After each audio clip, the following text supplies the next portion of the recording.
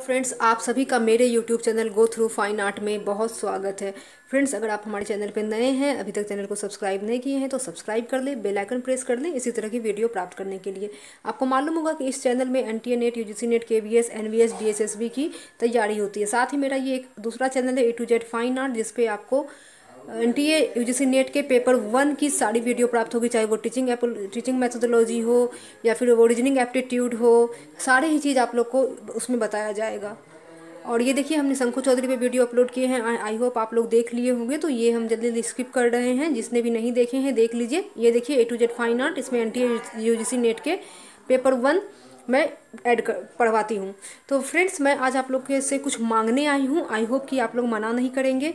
और एक बात और कहना चाहती हूँ कि यहाँ पे तो फ्री ऑफ़ कॉस्ट पढ़ाया जाता है। यूट्यूब में कोई भी पैसा आप लोग को पे नहीं करना पड़ता है, खास करके मेरे चैनल में। बहुत सारे यूट्यूबर हैं जहाँ पे पेड होते हैं, या फिर टेलीग्राम के द्वारा वो नोट्स जब प्रोवाइड करते हैं तो वहाँ से आपसे पैसे लेते हैं जो भी हो। खैर, मैं इस चीज़ पे बात करने नहीं आई हूँ, मैं आज आप लोग से कुछ मांगने आई हूँ। और मांगने ये आई हूँ कि मैं इसमें अप्लाई की हूँ, ये देखिए। H D F C bank में, ठीक है? ये देखिए, ये ये लिंक है। ये लिंक अभी मैं आप लोग को डिस्क्रिप्शन में भी दे दूँगी और कमेंट बॉक्स में भी कमेंट कर दूँगी। तो इस लिंक पे क्लिक करना है।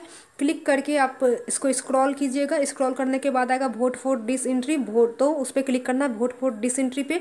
उसको क्लिक करके आप अपना मोबाइल नंबर डाल दीजिएगा। मोबाइल नंबर डालने के बाद सबमिट करना है और सबमिट करने के बाद फिर आपको एक ओटीपी आएगी। वो ओटीपी आप डाल दें ताकि मुझे एक वोट आप लोग की तरफ़ से मिल जाए। और आप एक वोट नहीं आप चाहें तो बहुत सारे वोट कर सकते हैं। वो कैसे? अगर आपके पास तीन चार फ़ोन है तो आप तीन चार फ़ोन अलग अलग नंबर से भी मुझे वोट कर सकते हैं। और साथ ही साथ अगर आपके फैमिली मेंबर्स हैं, मम्मी, पापा, चाचा, नानी, काकी, इतने सारे फ्रेंड्स तो वो भी शेयर कर सकते हैं, वो भी पार्टिसिपेट कर सकते हैं। तो प्लीज़ वोट मोर और मुझे जिताएँ। मेरी पेंटिंग को, ठीक है? और देखिए, मैं आप लोग को अभी दिखाऊँगी, पढ़ाऊँगी जो आज का सेशन है। आज हम आप लोग के साथ लेके आए हैं डोकड़ा कास्टिंग और लॉस्ट वैक्स प्रोसेस जो कि बहुत दिनों से बाकी था। तो महेंद्र पांड्या का हो गया, ये मैं एन टी नेट के पेपर वन है। एन रिज़ल्ट आउट हो गया है। जो लोग भी एन के लिए अप्लाई किए हैं रिज़ल्ट नहीं देखें तो रिज़ल्ट चेकआउट कर लें। अब देखिए लोस्ट वैक्स प्रोसेस को और किस नाम से जाना जाता है? पूछा गया तो लोस्ट लॉस्ट वैक्स प्रोसेस को सीरे पर्दू के नाम से भी जाना जाता है। इसका राइट आंसर होगा दो नंबर, यानी कि लॉस्ट बैक्स प्रोसेस को सीरे पर्दू के नाम से भी जाना जाता है। हमेशा ही एन टी ए नेट हो के वी एस हो एन वी एस हो D S S S B, इसमें एग्ज़ाम में पूछे जाते हैं और एन वी एस में तो और एन टी ए नेट में तो ज़रूर पूछे जाते हैं। दूसरा क्वेश्चन है इन्वेस्टमेंट कास्टिंग या लॉस्ट वैक्स या सीरे पर्दों में किस वैक्स का प्रयोग करते हैं? तो इसमें हम वीज वैक्स और पाराफिन का यूज़ करते हैं। तो इसका राइट आंसर आप लोग का हो जाएगा तीन और ए, एक एंड तीन दोनों ही होगा।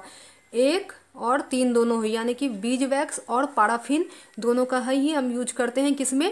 इन्वेस्टमेंट कास्टिंग, लॉस्ट वैक्स और सीडे परदियो और ये जो हम तीन नाम लिखे हैं, इन्वेस्टमेंट कास्टिंग, लॉस्ट वैक्स और सीडे परदू ये तीनों को ही, ये तीनों ही, जैसे कि मान लीजिए कि कभी कभी हम लोग बोलते हैं ना कि इंदस वैली सिविलाइजेशन, या कभी बोलते हैं इंदस सिविलाइजेशन, या फिर सिंधु घाटी सभ्यता बोलते हैं, या फिर कभी सैंधव सभ्यता बोलते हैं तो इसी तरह से इन्वेस्टमेंट कास्टिंग को ही लॉस्ट वैक्स कास्टिंग कहते हैं, और लॉस्ट वैक्स कास्टिंग को ही सीडे पर्दियों के नाम से भी जाना जाता है। तो एक ही नाम के तीन नाम हैं। तो लॉस्ट वैक कास्टिंग में सीडे पर्दों में इन्वेस्टमेंट कास्टिंग में बीज वैक्स और पाराफिन का यूज़ होता है। कभी कभी एग्ज़ाम्पल में ऐसे पूछ दिए जाते हैं एग्ज़ाम में क्वेश्चंस कि पाराफिन किसमें यूज़ होता है? तो आप लोग को लॉस्ट वैक्स सीडे पर्दू या इन्वेस्टमेंट कास्टिंग कोई ऑप्शन दिखे तो वो आप लोग को लगा देना है। या फिर ऐसे पूछ ले कि इन्वेस्टमेंट कास्टिंग में कौन से वैक्स का प्रयोग होता है तो याद रखिएगा बीज वैक्स और पाराफिन कोई एक ही ऑप्शन में रहेगा, या तो बीज वैक्स ऑप्शन में रहेगा या तो पाराफिन रहेगा। बट दोनों ही, ये दोनों ही जो है बीज वैक्स और पाराफिन दोनों ही यूज़ होते हैं इन्वेस्टमेंट कास्टिंग लॉस्ट वैक्स और सीरे पर्दों में। नेक्स्ट क्वेश्चन है कि इन्वेस्ट में इन्वेस्टमेंट कास्टिंग या लॉस्ट वैक्स या सीरे पर्दों का प्रयोग पहले कहाँ हुआ? तो इसका प्रयोग इंदस वैली सिविलाइजेशन में हो चुका है और इंदस वैली सिविलाइजेशन में होने के साथ साथ आप लोग को मालूम है कि इंदस सिविलाइजेशन मोहनजोदड़ो का ही पार्ट है। इंदस सिविलाइजेशन के अंदर ही मोहनजोदड़ो आते हैं राइट तो मोहनजोदड़ो में जो है सीढ़े पर्दों का उपयोग हो चुका है। मोहनजोदड़ो में कहाँ हुआ है, ये नहीं बताऊँगी तो कैसे समझ में आएगा? तो क्वेश्चंस आगे आएँगे कि कहाँ हुआ है। इन्वेस्टमेंट कास्टिंग या लॉस्ट वैक कास्टिंग के कितने प्रकार होते हैं? तो इन्वेस्टमेंट कास्टिंग या फिर लॉस्ट वैक कास्टिंग के दो प्रकार होते हैं। और दो प्रकार होते हैं तो कौन कौन से प्रकार होते हैं, ये भी मैं आप लोग को बताऊँगी कौन कौन से प्रकार होते हैं। ठीक है? होलो कास्टिंग होते हैं और सॉलिड कास्टिंग होते हैं, वो भी आएगा वीडियो में। इसलिए वीडियो को अंत तक देखें और दोस्तों please H D F F C bank वाला मैं लिंक जो हूँ, आप लोग को कमेंट बॉक्स में दे दूँगी और साथ ही साथ डिस्क्रिप्शन बॉक्स में भी दे दे दूँगी। प्लीज़ उस लिंक पे क्लिक करके ओपन कर लें और वहाँ पे एक पेंटिंग है, उस पेंटिंग को वोट करें। वोट करने के लिए आपको अपना फ़ोन नंबर डालना है। फ़ोन नंबर डालते ही आपके फ़ोन पर ओ आ जाएगी। उस ओटीपी को डाल दे और सबमिट कर दे तो वोट हो जाएगा। वोट में आप अपने फ्रेंड्स फैमिली नेबर किसी को भी पार्टिसिपेट करवा सकते हैं। आप उस मैसेज को फॉरवर्ड कर सकते हैं, अपने सोशल मीडिया पे फॉरवर्ड कर सकते हैं, जैसे कि आजकल बहुत सारे सोशल मीडिया है हेलो ऐप है इंस्टाग्राम है एफ़ है व्हाट्सअप है, बहुत ही ज़्यादा व्हाट्सअप पे लोग एक्टिव रहते हैं और साथ ही साथ ट्विटर पे भी आप लोग फॉलो सॉरी वोट कर सकते हैं। जहाँ भी वोट करना चाहे वोट कर सकते हैं शेयर कर सकते हैं तो प्लीज़ ज़्यादा से ज़्यादा वोट कीजिए ताकि ये पेंटिंग जीत सके।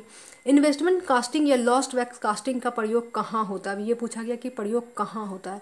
तो इसका प्रयोग जो है ढोकड़ा कास्टिंग में भी होता है मेटल कास्टिंग में भी होता है और ब्रॉन्ज कास्टिंग में भी होता है।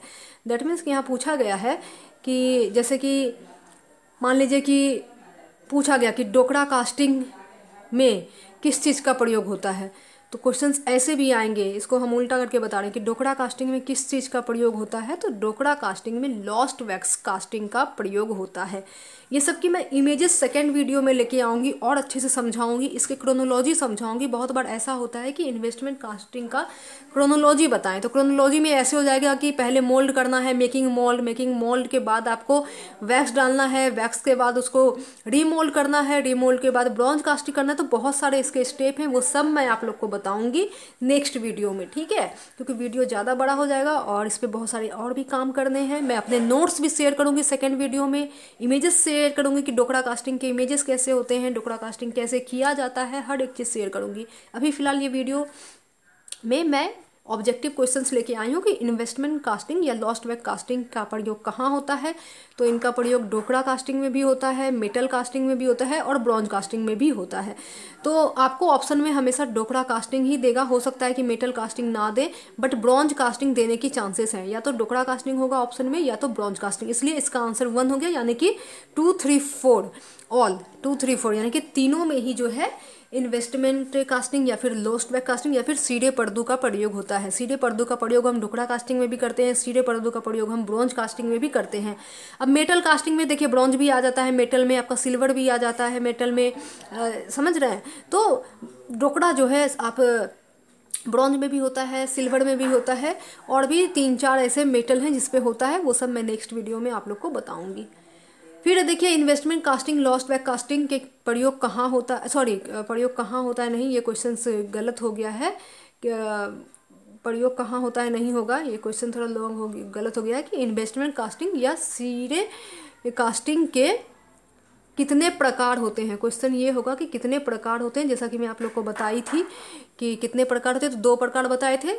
यही दो प्रकार है सॉलिड कास्टिंग और होलो कास्टिंग तो इन्वेस्टमेंट कास्टिंग के दो प्रकार होते हैं solid casting and hollow casting solid casting में क्या होता है? क्ले कोड का यूज़ नहीं करते हैं और होलो कास्टिंग में हम क्ले कोड का यूज़ करते हैं। ये भी मैं नेक्स्ट वीडियो में डिटेल से बताऊँगी कि सोलो सॉलिड कास्टिंग क्या होता है और होलो कास्टिंग क्या होता है।